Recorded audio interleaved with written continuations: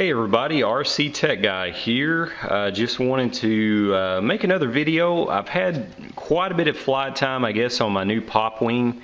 And I just want to say I really love this plane. It's just really a great plane. And I, my last video, the overview video, just kind of um, showed you guys, you know, the overview of the plane and, and kind of what comes in the box and what my first impressions were of the plane. I wanted to um, go over a few things. You know, I, have looked on the internet just to see what others may be modifying, how they may be modifying their, their pop wings. And I've got the full scale wing. I, I, I don't and haven't flown uh, the mini pop wing. And from what everybody says, you know, the performance, speed, and maneuverability of of the mini pop is, if you will, is uh, better than than the big pop wing. But I was looking at also stability because I want to put FPV gear on this plane because they wings just really make a great platform for FPV and so I want to do that in the future and I'll detail that out for you guys. Uh, one thing, you know, since I had, uh, oftentimes, you know, if we're not rich, we have to recycle what we have on other planes and, and parts and whatnot that we uh, have going on. And for those of you that have seen my videos, the, the Hawk Sky, of course, and my uh, uh, modified Hawk Sky, uh, I had the Grayson Hobby uh, Microjet version 3 motor on that plane, and it just really turned that plane into an altogether different plane performance-wise. And, and I thought, you know, um, I just want to try this on the Popwing, and I also want to say on the Popwing, it is really a phenomenal uh, performance improvement over the stock motor. And I think I showed you guys last time. Uh, the stock motor is this T motor. Uh, as you, if you can see that on the video, it's 12. The kV rating is 1260 kV. It's a 2208 uh, T motor. And out of the box, I mean, this is a, a, great little starter motor. You know, I mean, it's it's definitely pushes the plane around pretty well, and you can do mild acrobatics with it. And you know, speed is is mediocre. You know, it's I'm not going to lie to you, it's definitely not a a speed demon by any means.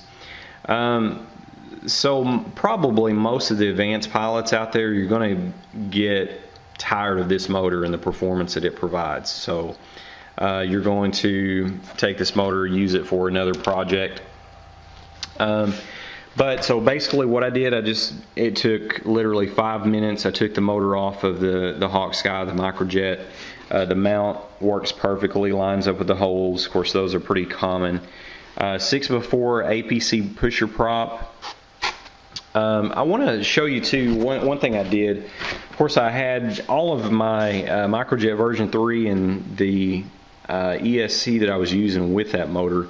I had Dean's connectors and all of my batteries. Uh, basically, I, I, bought the, if I can find them here, I bought the SkyLipo 1300 milliamp. I bought a couple of these from HobbyPartz when I ordered the Popwing because you know most of the videos call for a 1300 milliamp battery.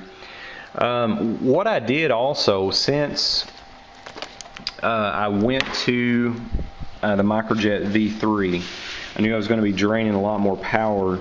Uh, and I, I had read that others had, had put 2200 milliamp batteries on their uh, Popwings.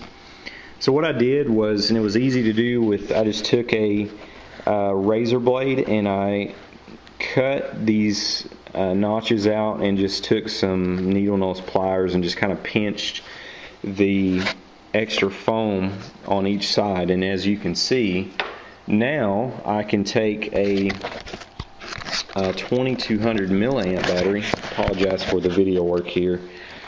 Uh, I can take a 2200 milliamp battery and, and sit it inside the uh, notched out battery area now. So, you know, I go from 1300 milliamps of power to 1800, and I've got some 2200 milliamp uh, three cell uh, batteries here. Also, uh, Grayson Hobby when I uh, had the bought the other microjet stuff.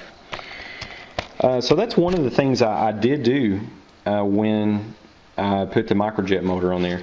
One other thing I was going to show you, and I really didn't set out to do this uh, per se, but with the other prop, one thing that really happens a lot, even if you, what I found, even if you're power off and you come in and you don't hand catch this plane, this prop, and it's designed this way, uh, just so you're not bending shafts and tearing your motors up, is it, you know, uses these O-rings.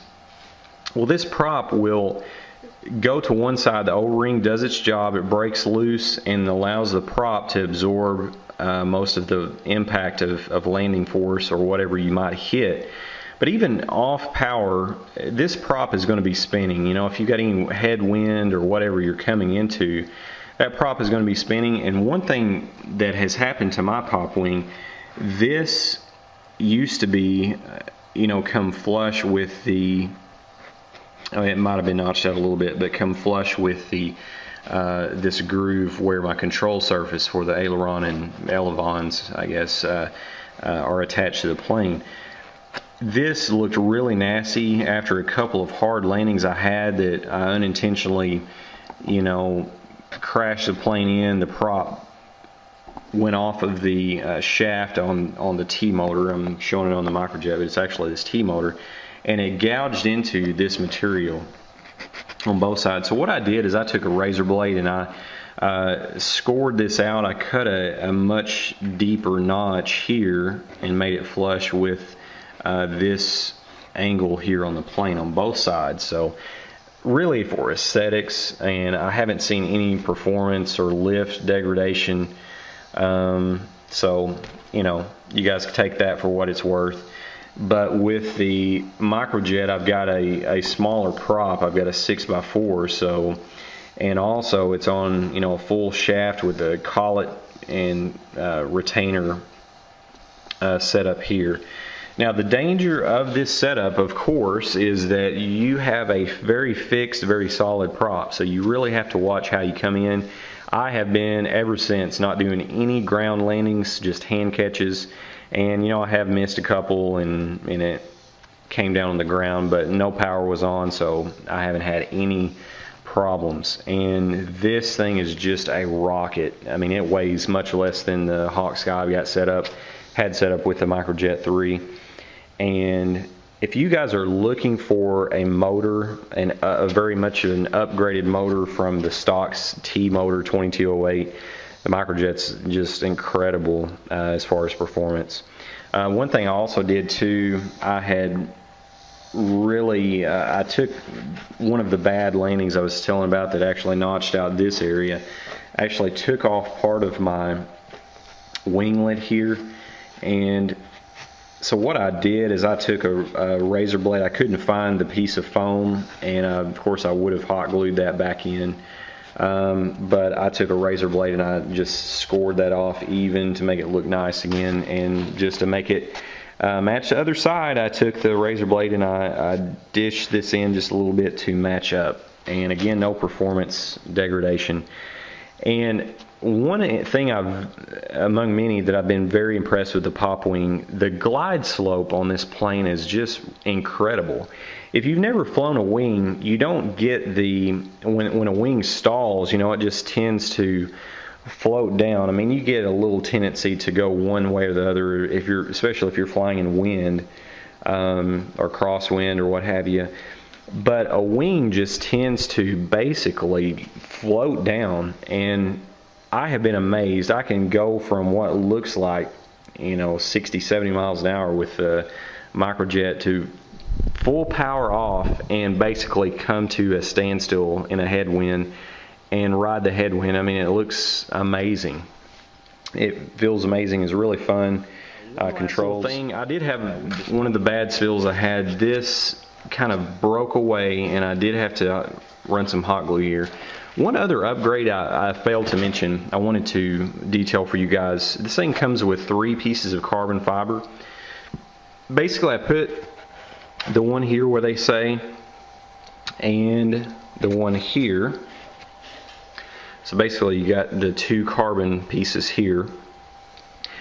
I actually split the other one in half. I just took some wire cutters, broke it, And because uh, this is really a weak point of the plane, there's not really any substantial structure here besides your battery and the Velcro. So I put, I cut it in two and I put a piece of carbon there and a piece of carbon here. I just took a razor blade again, notched in here, forced the carbon in and glued it. And that really seems to have made this much more rigid up top, uh, which it needs uh, there. So that might be one thing you consider doing. Um, all in all, it's a great plane, and I hope to have some flight footage of this upgraded Microjet uh, version 3 motor on the Pop Wing. So if you're looking for a really good replacement motor, there are many others out there, but I just happen to have the Microjet on hand, and I wanted to let you guys know it's just awesome for this plane.